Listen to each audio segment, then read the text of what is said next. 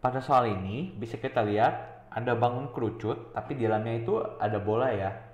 Jika diketahui tinggi kerucutnya itu 24 cm, aku singkat TK, itu 24 cm. Dan diketahui itu panjang apotema kerucut, apotema kerucut itu sisi miringnya ya. Aku tulis AK sama dengan 30 cm. Diminta kita itu mencari volume bola, lalu volume kerucut, habis itu kita hitung selisihnya, volume kerucut dan bola, serta perbandingannya. Oke, jadi Pertama, untuk ini kita lihat dulu diketahuinya itu cuma dua ya. TK yaitu tinggi kerucut dan apotema kerucut yaitu 30 cm. Nah, untuk menghitung ini, cara pertama adalah tahapnya kita harus buat segitiga dulu ya. Segitiga apa? Yang kita nanti buat adalah segitiga C, cerminan C atau aku singkat aja C1 nanti sama B. Jadi, kira-kira itu seperti ini segitiganya itu C, C1 dan B. Nah, kita tulisin sama yang kita ketahui, C, C1 itu tinggi kerucut, berarti di sini kita tulis 24. AK itu 30 cm, apotema kerucut, berarti CB itu apotema kan berarti dia 30.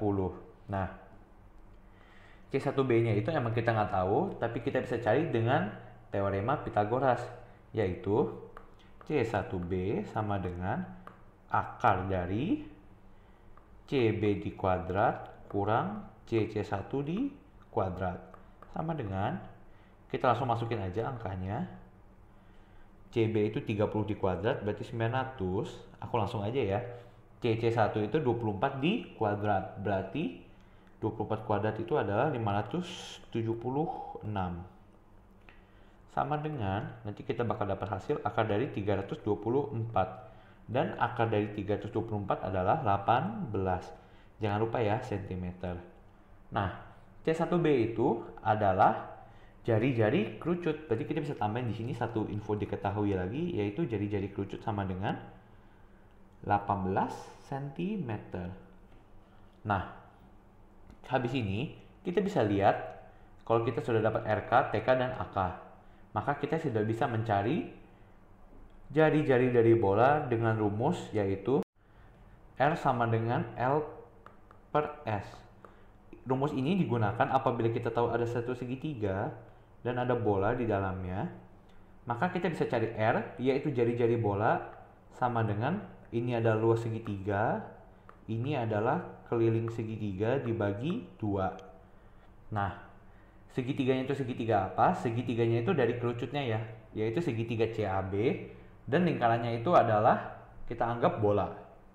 Berarti kita tinggal masukin yaitu R sama dengan luas segitiga, berarti itu sama aja kayak setengah kali alas kali tinggi. Alasnya itu di sini adalah AB dikali tingginya itu C dan C1 per kelilingnya itu kita tambahin ya semua sisinya berarti CA tambah AB tambah CB per 2 kita lanjutin ke sebelah kanan, jadi sama dengan setengah kali AB. AB itu berarti R tambah R, yaitu 18 tambah 18.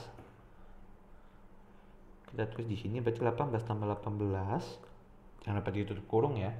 Dikali tinggi dari kerucut yaitu 24 per CA tambah AB tambah CB per 2. Kita tambahin aja CA dan CB itu apotema ya. Berarti 30 tambah 30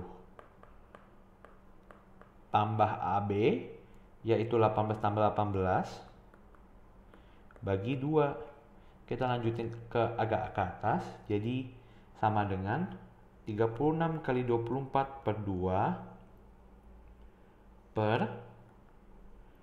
30 tambah 30 tambah 36 per 2 ini bisa kita coret 2 sama 2 nya jadinya itu hasilnya nanti akan menjadi 9 ya langsung aja cm nah berarti kita sudah dapat kita tulis lagi di sini satu info lagi.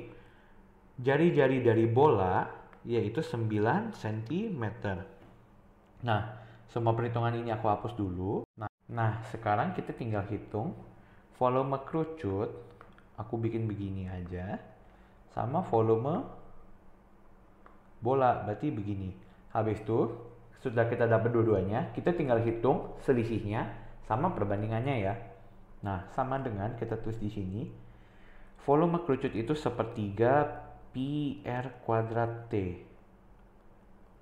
Tinggal kita masukin angka-angkanya. Sepertiga dikali pi dikali r kuadrat dikali T. Kali 24 sama dengan langsung aja. Kalian hitung. Jadi dapatnya itu 200 2592 pi cm pangkat 3 ya. Kenapa pi nya aku nggak masukin? Karena nanti akan membantu pada saat kita menghitung selisih sama volumenya ya. Kalau pi nya itu nggak dimasukin. Kita lanjut ke volume bola sama dengan pi r pangkat 3 kali 4 per 3 sama dengan pi dikali R-nya itu 9 pangkat 3 dikali 4 per 3 sama dengan 972 pi cm pangkat 3 gitu. Nah sekarang kita tinggal cari selisih sama perbandingannya ya.